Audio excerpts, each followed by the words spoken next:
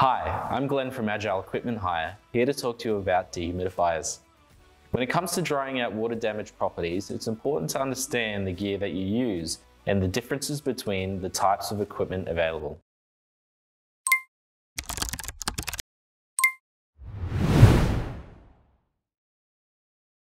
There are two types of dehumidifier technology that you should familiarize yourself with, refrigerant and desiccant.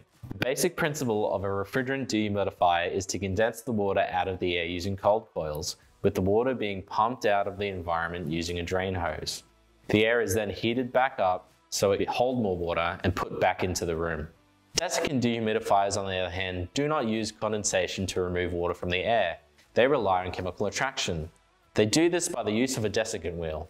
This wheel consists of small passageways containing silica gel, the same found in little packets to keep shoes dry.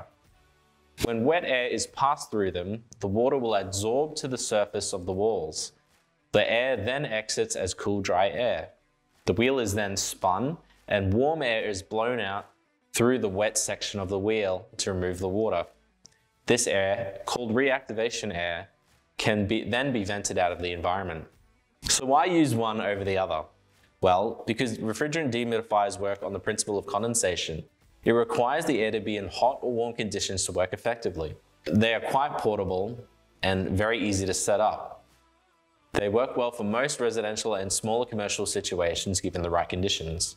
Here in Queensland, these typically work well. Desiccants, on the other hand, do not have such a restrictive temperature range. They can operate at much colder and warmer temperatures and can scale in size. Some of our desiccants are so big they need their own truck to move.